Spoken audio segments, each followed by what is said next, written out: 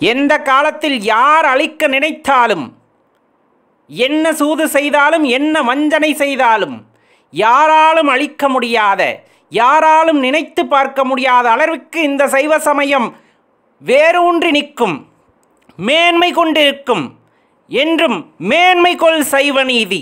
விளங்குக உலகமெல்லாம் என்று ஆன்றோர்களால் பாடப்பட்ட திருச்சிற்றம்பலம். திருமூலரையா திருவடிகள் போற்றி போற்றி. குருவடியும் திருவடியும் வணங்கிந்த பதிவை ஆரம்பிக்கலாம் நண்பர்களே. பொறுமையாக முழுமையாக கேளுங்க. கட்டாயமாக இந்த ஐயப்பாடானது அனைவர் மனதிற்குள்ளும் இருக்கிறது. அதற்கான விடையை நாம் தேடி அடைய வேண்டும் அல்லவா அதற்காகத்தான் இந்த பதிவு. சைவ பூமி அப்படின்னு சொல்லக்கூடிய இந்த தென்பகுதி பாரதத்தின் தென்பகுதி மட்டும் கிடையாது. பாரதமே பார்த்திங்கன்னா சைவ பூமி தான் அந்த காலகட்டத்தில் மன்னர்களால் போற்றி பாதுகாக்கப்பட்ட கட்டி எழுப்பப்பட்ட ஆலயங்கள் பல ஆயிரம் அப்படின்னு சொன்னால் அது மிகையாகாது. பல ஆயிரம்னு சொன்னால் மிகையாகாது. அவ்வளவு சிறப்பு வாய்ந்த இந்த சைவ பூமியில் அதிலும் குறிப்பாக இந்த தென்னகத்திலே பல சிவாலயங்கள் மன்னர்களால் கட்டப்பட்டு வழிபாடு தொடர்ந்து மேற்கொள்ளப்பட்டு வந்தது. பல பேர் தங்களது உடைமைகளை கூட அந்த ஆலயத்திற்காக எழுதி வைத்து அந்த ஆலய பராமரிப்பிற்காக எழுதி வைத்து சென்றனர். அந்த அளவுக்கு வந்து அந்த ஆலயங்களின் மீதும் சிவ வழிபாட்டின் மீதும் இந்த சைவ சமயத்தின் மீதும் மிகவும் பற்றுடை பற்று உடையவர்களாக இருந்தார்கள். அனைத்திற்கும் மூல காரணமான சிவபெருமானை வழிபடுவதை தங்களது பிறவி பயனாக நினைத்து போற்றி வந்தார்கள். ஆனால் இன்றைய காலகட்டத்தில் பார்த்திங்கன்னா நிலைமை அந்த பராமரிப்பில்லாத ஆலயங்கள். சிவாலயங்களை பார்க்கும்போது நிறைய ஆலயங்கள் பராமரிப்பு இல்லாமல் இருக்கிறதே நிறைய சேதப்பட்டு கொண்டிருக்கிறதே சேதப்படுத்தப்படுகிறதே இதெல்லாம் அடுக்குமா அப்படிங்கிற அந்த கேள்வியானது நம் மனதில் ஏற்படுகிறதல்லவா? இந்த கேள்வி ஏற்படும் பொழுதே நம்மளுக்கு என்ன ஐயப்பாடு வந்துடுதுன்னா இந்த சைவ சமயம் அப்படிங்கிறது அழிவை நோக்கி செல்கிறதா அப்படின்னு சில பேர்லாம் கேட்கும்போது அது பதில் சொல்லணுமா அப்படின்னு தோணுனாலும் தெளிவாக நம்ம சொல்லிக்க வேண்டிய ஒரு விஷயம் இது ஒரு தனி மனிதனால் உருவாக்கப்பட்ட சமயம் அன்று அப்படிங்கிறத தெளிவாக தெரிஞ்சுக்குங்க. சைவ சமயம் அப்படிங்கிறது தனி ஒருவரால் உருவாக்கப்பட்ட சமயம் அல்ல. இது இயற்கையிலேயே உண்டான சமயம். அந்த சிருஷ்டி கர்த்தாவை பின்பற்றி வந்த சமயம். சிவபெருமானை தொடர்ந்து வந்த சமயம். இது எக்காலத்திலும் அழிவு அப்படிங்கிறது இல்லாத ஒரு சமயம். ஏன்னா இது வாழ்வியல் முறை அப்படிங்கிறத இந்த மனிதர்களுக்கு எடுத்து இயம்புவது. சைவ சமயம் அப்படிங்கிறது எப்படி வாழணும்னு சொல்லிக் கொடுக்கும் எப்படி இறைவனை அடைய வேண்டும் என்றும் சொல்லிக் கொடுக்கும். இதை எத்தனை பேர் செய்தார்கள் என்று தெரியாது. நிறைய மகான்கள் உண்டானார்கள். இந்த பூமியிலே பல மகான்கள் உண்டாகி வாழ வழிகாட்டினார்கள். ஆனால் இந்த சைவ சமயம் எப்பொழுதுமே நிலைத்து நின்று மனிதர்களுக்கு எப்படி வாழ வேண்டும் என்று சொல்லிக் கொடுப்பதுடன் அந்த பிறவா நிலையை எப்படி எய்த வேண்டும் என்ற வழியையும் காட்டுகிறது. இது அதோட தனித்தன்மை. சைவ சமயத்தோட தனித்தன்மை. சிவபெருமானை தலைவனாக கொண்டு இந்த சைவ சமயம் வந்து உலக மக்கள் அனைவரையும் வழிநடத்தி செல்கிறது. பாரத பூமியில் மட்டும்தான் சிவ வழிபாடா அப்படின்னா இந்த உலகமெங்கும் ஏன் பிரபஞ்சமே சிவலிங்கமாக இருந்து அனைவருக்கும் வழிகாட்டுகிறது? அனைவர் உள்ளத்திலிருந்தும் வழிகாட்டுகிறது. ஏனோ மனம் அதை ஏற்க மறுக்கிறது ஒரு சிலருக்கு. அப்போ சிவாலயங்கள் பராமரிப்பு இல்லாமல் இருக்கிறதே?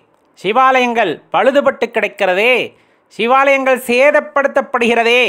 அப்படின்னு ஆதங்கம் இருக்கிறவங்களுக்கு சொல்லிக்கிறது ஒரே ஒரு விஷயம்தான். பிரபஞ்சத்திற்கு காரணமான அந்த சிருஷ்டிகர்த்தாவை நாம் வழிபடுகிறோம் அப்படிங்கும்போது அது எவ்வளோ பெரிய புண்ணியம். அந்த சிவகாரியத்தை ஒருவர் எடுத்து செய்ய வேண்டுமென்றால் அவர் எவ்வளவு புண்ணியம் செய்தவராக இருக்க முடியும்? எவ்வளவு புண்ணியம் செய்தவராக இருக்க முடியும்? தெளிவாக தெரிஞ்சுக்கங்க. ஒரு சிவாலய பணி எடுத்து செய்வது அப்படிங்கிறது சாதாரண விஷயம் அல்ல அரும் பெரும் பாக்கியங்கள் பெற்றவர் பல புண்ணியங்களை செய்தவரால் மட்டுமே சிவாலயத்தில் ஒரு துரும்பை கிள்ளி வெளியேறிய முடியும். சுத்தப்படுத்துவதற்கு உழவாரப்பணி செய்ய போகிறது கூட அவரோட அந்த அருள் இருந்து பெரும் புண்ணியம் செய்தவர்களால் தான் முடியும்.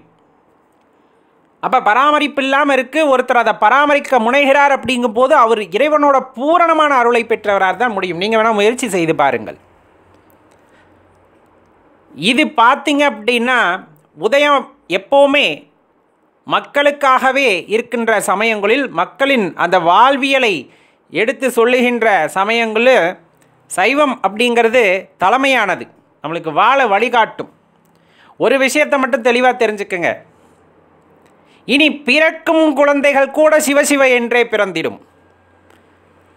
இனி பிறக்கும் குழந்தைகள் கூட சிவசிவ என்றே பிறந்திடும். சைவநெறி உலகமெங்கும் பரவும். சைவநெறியானது உலகமெங்கும் பரவும். காரணம் சைவம் போதிப்பது அன்பை ஒன்றை அப்படிங்கிறது தெளிவாக தெரிஞ்சுக்கணும். பிறரை பற்றி குறை சொல்லணும்னு அவசியம் இல்லை பிற தெய்வங்களை பற்றி எளிவாக பேசணும்னு சொல்லி கொடுக்கல. பிறரை துன்பப்படுத்துன்னு சொல்லி கொடுக்கல. பிறர் மீது அன்பு செலுத்து அப்படிங்கிறத தான் சைவ சமயம் தெளிவாக எடுத்து கூறுகிறது. அதுலேயும் நம்ம பாரத பூமியில் நம்ம சனாதன தர்மம் போதிப்பதும் அடிப்படை அதுதான். பல தெய்வங்களாக நாம் வழிபட்டாலும் பல தெய்வங்களாக இறைவனை நாம் வழிபட்டாலும் சைவம் வைணவம் இந்த மாதிரி அரும்பெரும் பிரிவுகளாக நாம் வழிபட்டாலும் இறுதியில் நாம் சென்றடைவது என்னவோ ஒரே ஒரு தெய்வத்தை தான். அந்த வழிபாடுகள் எல்லாம் சென்றடையும் இடம் ஒரே ஒரு இறைவன் அந்த சிருஷ்டிகர்த்தாவைத்தான் சென்றடைகிறது. இந்த பாரத பூமி அவ்வளவு ஒரு சிறப்பான பூமி ஆன்மீக பூமி. அதில் இந்த சைவ சமயம் அப்படிங்கிறது நமக்கு கிடைத்த அரும்பெரும் கொடை. அதனால தான் நம்ம ரொம்ப தைரியமாக ரொம்ப தெளிவாக சொல்கிறது என்னன்னா அவ்வளவு எளிதில் நம் மனதில் சில ஐயப்பாடு இருந்தாலும் இது காலப்போக்கில் சைவ சமயம் என்ன ஆகுமோ என்ற ஐயப்பாடு யார் மனதிலும் இருக்க தேவையில்லை. காரணம் இது வாழ்வியல் முறை.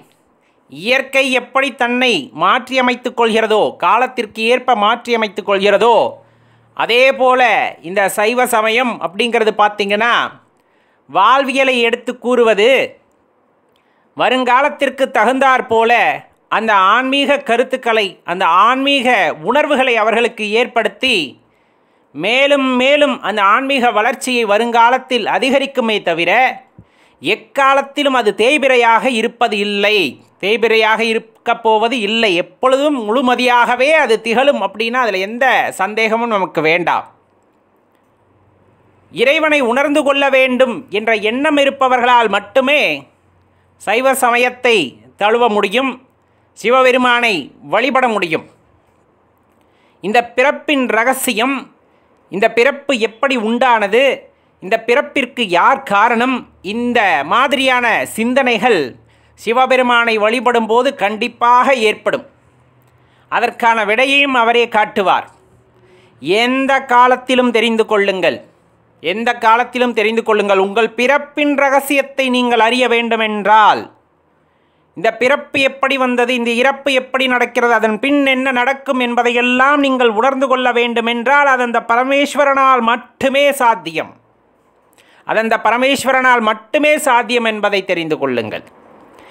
எந்த காலத்தில் யார் அழிக்க நினைத்தாலும் என்ன சூது செய்தாலும் என்ன வஞ்சனை செய்தாலும் யாராலும் அழிக்க முடியாத யாராலும் நினைத்து பார்க்க முடியாத அளவிற்கு இந்த சைவ சமயம் வேரூன்றி நிற்கும் மேன்மை கொண்டிருக்கும் என்றும் மேன்மை கொள் சைவ நீதி. விளங்குக உலகமெல்லாம் என்று ஆன்றோர்களால் பாடப்பட்ட அந்த வாக்கியம் பொய்த்து போகாமல் எதிர்காலத்திலே இந்த சைவ சமயமானது உலகெங்கும் பரவி அன்பே எல்லாம் என்றும் அன்பே கடவுள் என்றும் அன்பு வ- மயமானவர் இறைவன் என்றும் எல்லோருக்கும் ஆணித்தனமாக எடுத்துரைக்கப் போகிறது. இனி பிறக்கும் குழந்தைகள் கூட சிவசிவ என்றே பிறந்திடும். ஓம் நம சிவாய.